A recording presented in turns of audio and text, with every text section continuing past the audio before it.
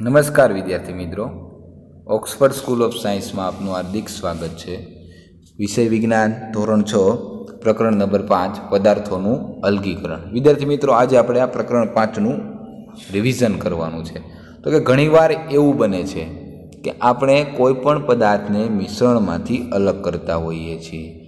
ઉદાહરણ તરીકે ચાનું મિશ્રણ. ત્યાર પછી માખણ મેળવવા માટે વલોવવું તો કે ચાની ગળતી વખતે, ચાને ગળતી વખતે ચાની ભૂકીને ગળણી વડે પ્રવાહીથી અલગ કરવામાં આવે છે. ગળણીથી શું કરવામાં આવે છે? પ્રવાહી વડે તેને અલગ કરવામાં આવે છે. હવે તેને અલગ કર્યા પછી લલણી સમયે દાણાઓને ડુંડામાંથી અલગ કરવામાં આવે છે. એવી જ રીતે ઉદાહરણ તરીકે મકાઈના ડુંડવા. માખણ મેળવવા માટે દૂધ કે દહીંને વલોવવામાં આવે છે. માખણ મેળવવા માટે દૂધ હોય કે દહીં હોય તેને વલોવવામાં આવે છે અને રૂમાંથી બીજને રેસાથી અલગ કરવા માટે પીંજવામાં આવે છે. કદાચ તમે મીઠાવાળા પૌવા એટલે કે ઘઉંના ફાડાની વાનગીઓ પણ ખાધી હોય છે, તો ખાધા હશે. જો તમે તેમાં તમને મરચાં દેખાય, તો તમે તેને ખાતા પહેલાં ખૂબ જ સાવચેતીથી, સાવચેતીપૂર્વક અલગ કાઢી લો છો. જો તમને એક ટોપલીમાં કેરી અને જામફળ ભરીને આપવામાં આવે, જો એક ટોપલીમાં તમને કેરી અને જામફળ ભરીને આપવામાં આવે, તો તમે તેનું શું કરશો? તો કે આપવામાં આવે તો તેને અલગ કરવાનું કહેવામાં આવે. તો તમે શું કરશો? તો કે એક પ્રકારની વસ્તુ લઈને તેને અલગ પાત્રમાં મૂકશો. ખરું ને? સરળ લાગે છે આ વસ્તુ આપણને. પરંતુ જે પદાર્થને આપણે અલગ કરવાના છે તે કેરી કે જામફળ કરતાં ખૂબ જ નાના હોય, તો શું કરવું? કેરી અને જામફળ કરતાં ખૂબ જ નાના હોય, તો એનું આપણે શું કરીશું? ધારી લો કે તમને મીઠું ભરેલી, મીઠું મીઠું ભેળવેલી રેતીનો પ્યાલો ભરીને આપ્યો છે. તમને એક ધારી લો કે મીઠું ભેળવીને રેતીનો એક પ્યાલો ભરીને આપ્યો છે. તો હાથ વડે રેતીના દાણા ઉપાડીને, એટલે કે હાથ વડે રેતીના દાણા ઉપાડીને મિશ્રણથી અલગ કરવા શક્ય જ નથી. પણ ચાનું મિશ્રણ પૌવાનું મિશ્રણ દહીંનું મિશ્રણ, આ બધું અલગ કરવું આપણને થોડુંક સહેલું લાગે છે. તો પછી આવા પદાર્થોને આવી રીતે શા માટે અલગ કરવા જોઈએ તે આપણે જાણવું છે. તો કે આપણી આસપાસના મોટાભાગના પદાર્થો, આપણી આસપાસના મોટાભાગના પદાર્થો બે કે તેથી વધુ પદાર્થના મિશ્રણ સ્વરૂપે અસ્તિત્વ ધરાવે છે. ઉદાહરણ તરીકે કાતર, પેન્સિલ, કાર્બન ડાયોક્સાઇડ, એમોનિયા, પછી કાચનો ગ્લાસ, ચા તેલ એકથી મોટાભાગના પદાર્થો બે કે તેથી વધુ પદાર્થના મિશ્રણ સ્વરૂપે હોય છે. એવી જ રીતે લાકડું તો લાકડું સેલ્યુલોજ અને લિંગનીનનું બનેલું હોય છે. માટી તો કે ખડકો, રેતી, માટી સેન્દ્રિય પદાર્થોમાંથી બને છે. દૂધ તો કે પાણી, ચરબી, પ્રોટીનનું બનેલું હોય છે. મીઠાનું દ્રાવણ તો કે ક્ષાર અને પાણીનું મિશ્રણ છે. હવે વિદ્યાર્થી મિત્રો, આપણે તે સમજવા પ્રવૃત્તિ કરીએ. તો કે આ પ્રવૃત્તિમાં શું કરવાનું છે? તો કે આ જે પ્રવૃત્તિ છે તેમાં આપણે અલગીકરણની કેટલીક રીતો આપેલી છે, જેમાં અલગીકરણનો હેતુ તથા અલગ કરેલા ઘટકોનો અનુક્રમે કોલમ બે અને કોલમ ત્રણના દર્શાવેલા છે.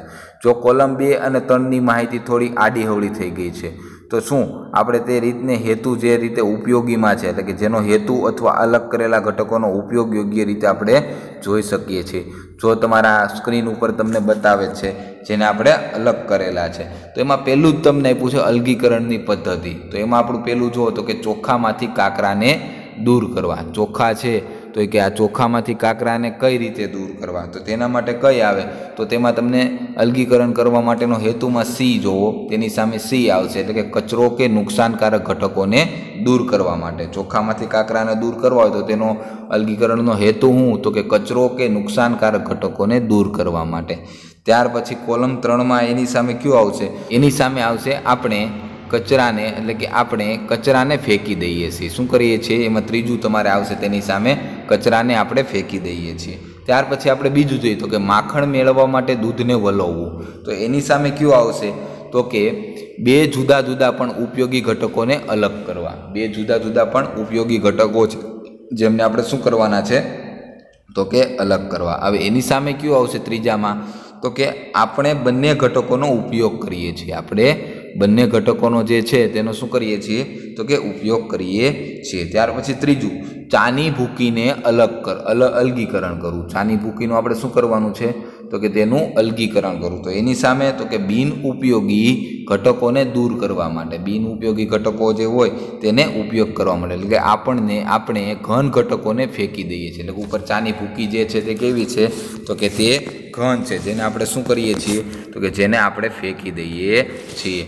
કોઈ પણ પદાર્થનો ઉપયોગ કરતા પહેલાં કોઈ પણ પદાર્થનો ઉપયોગ કરતા પહેલાં આપણે તેમાં રહેલા નુકસાનકારક કે બિનઉપયોગી ઘટક અલગ કરીએ અલગ કરીએ છીએ. ઉદાહરણ તરીકે ચોખામાંથી આપણે કાકરા દૂર કર્યા, ચામાંથી આપણે ઘન સ્વરૂપે ભૂકી દૂર કરી.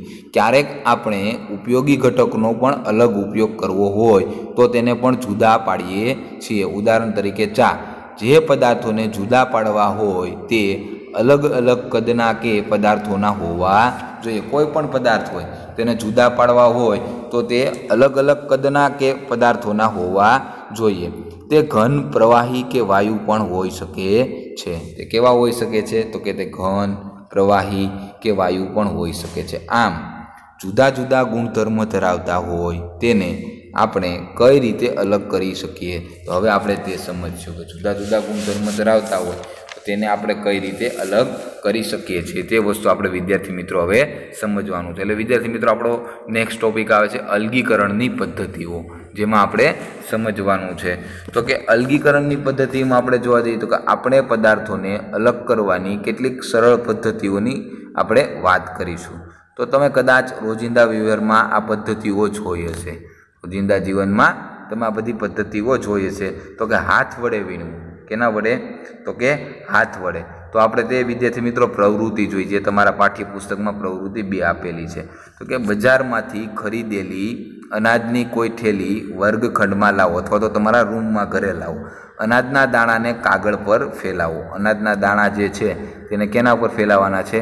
તો કે અનાજના દાણાને કાગળ ઉપર ફેલાવો. હવે કાગળ ઉપર ફેલાવ્યા બાદ શું તમને કાગળ ઉપર ફક્ત એક જ પ્રકારના દાણા દેખાય છે? શું તેમાં કાકરા, હોતરા, તૂટેલા દાણા અને ધાન્યના દાણા પણ છે? તો કે હા, અનાજના દાણાની સાથે કાકરા ફોતરા તૂટેલા દાણા અને અન્ય ધાન્યના દાણા પણ છે.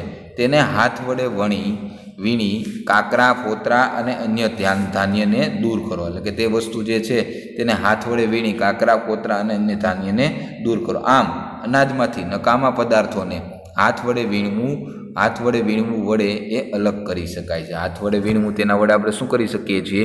તો કે તેને આપણે અલગ કરી શકીએ છીએ, હાથ વડે વીણવું. હવે વિદ્યાર્થી મિત્રો, અનાજનું છડવું. તો આપણે અનાજનું છડવાનું જોઈએ. તો કે પાકની લલણી પછી, એટલે કોઈ પણ પાક થઈ જાય અને આપણે પાકની લણણી પછી અને ચોખાના ડુંડાના ઢગલા ખેતરમાં હોય છે. પાકની લણણી પછી ચોખાના ડુંડા જે હોય છે તે ખેતરમાં હોય છે. તો કે ડુંડામાંથી દાણા કાઢતા પહેલાં તેને તડકામાં સૂકવવામાં આવે છે. ડુંડામાંથી દાણાને કાઢતા પહેલાં તેનું શું કરવામાં આવે છે? તો તેને તડકામાં સૂકવવામાં આવે છે. દરેક ડુંડામાં ખૂબ જ દાણાઓ હોય છે. દરેક ડુંડા હોય તેની અંદર ખૂબ જ દાંડા દાણાઓ હોય છે. તો ખેતરમાં રહેલા બધા જ ડુંડામાંથી રહેલા દાણાની સંખ્યાની કલ્પના કરો. ખેતરમાં રહેલા બધા જ ડુંડાઓમાંથી ખાલી દાણામાં રહેલી સંખ્યાની કલ્પના કરો. તો ખેડૂત કઈ રીતે આ ડુંડામાંથી દાણાને અલગ કરે છે.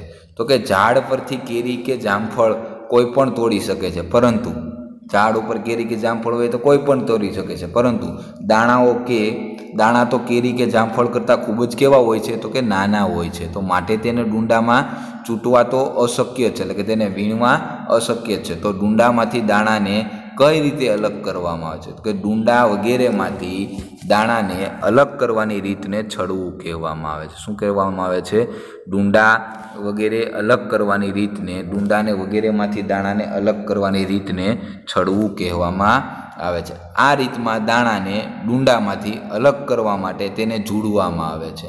આ રીતમાં શું કરવામાં આવે છે? આ રીતમાં દાણાને ડુંડામાંથી અલગ કરવા માટે તેને જોડવામાં આવે છે.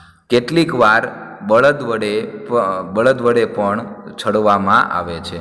મોટા જથ્થામાં દાણાને છડવા માટે યંત્રો પણ વપરાય છે. મોટા જથ્થામાં જે દાણા છે તેને છડવા માટે શું વપરાય છે તો કે યંત્રો પણ વપરાય છે. હવે વિદ્યાર્થી મિત્રો, આપણે ઉપણવુંની વાત કરશું. ઉપણવું એટલે શું?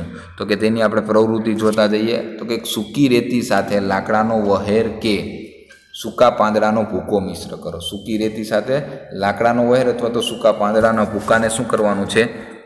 તો કે તેને આપણે વિદ્યાર્થી મિત્રો મિશ્રણ કરો. મિશ્રણ કર્યા બાદ આ મિશ્રણને ડીશ કે છાપા ઉપર મૂકો. આ મિશ્રણને ડીશ કે આપણે છાપા ઉપર મૂકો અને આ મિશ્રણને ધ્યાનથી જુઓ. શું બંને અલગ ઘટકો સરળતાથી દેખાય છે? આ બંને ઘટકો રહ્યા તે આપણને સરળતાથી દેખાય છે. શું બે ઘટકોના કણના કદ સમાન છે? આપણને એવો પ્રશ્ન થાય ને, હું તમને પ્રશ્ન કરું કે શું બે ઘટકોના કદ કદ, કણના કદ જે છે તે સમાન છે? શું ઘટકોને હાથ વડે વીણીને અલગ કરવા શક્ય છે?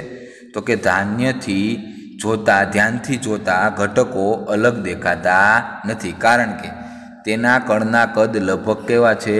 સમાન છે. તેથી હાથ વડે વણીને અલગ કરવા શક્ય નથી. હવે તમારા મિશ્રણને ખુલ્લા મેદાનમાં લઈ જાઓ અને કોઈ ઊંચા પ્લેટફોર્મ પર ઊભા રહો અને મિશ્રણને ડીશમાં કે કાગળ પર લો.